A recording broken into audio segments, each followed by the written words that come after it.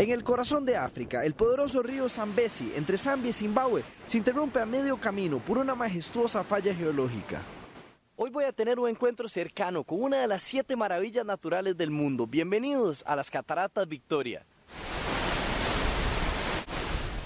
Descubiertas para el mundo occidental por el explorador escocés David Livingstone en 1855, no fue hasta casi 100 años después que los locales revelaron un secreto. En la época seca, el cauce del río se reduce dramáticamente y da paso a la creación del Devil's Pool o piscina del diablo, una extraña formación rocosa que permite a locales y visitantes bañarse en el río a tan solo centímetros de la cascada principal.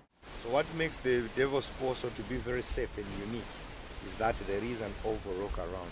Though you slide in and to the edge, you cannot go over. And I still believe someone probably fell in by accident and discovered that he could swim in the devil's pool. Y aunque me aseguran que es súper seguro, es inevitable estar un poco nervioso.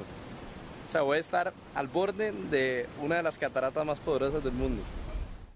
El sonido del agua es ensordecedor y la sensación única al estar literalmente flotando por encima de una de las caídas de agua más potentes del mundo. Y muy al estilo africano, donde las regulaciones son un poco más relajadas en términos de seguridad. Incluso te permiten asomarte mientras te sostienen por los pies y el rocío del agua te humedece la cara y el permanente arco iris decora el paisaje.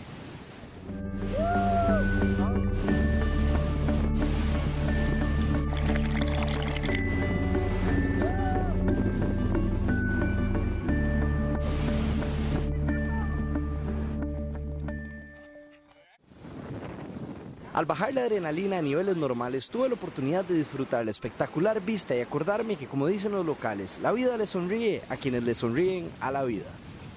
Ahora solo me faltan seis maravillas naturales para ver a unos cuantos metros de distancia. Para CNN, soy Sebastián Castro y nos vemos en mi próxima aventura.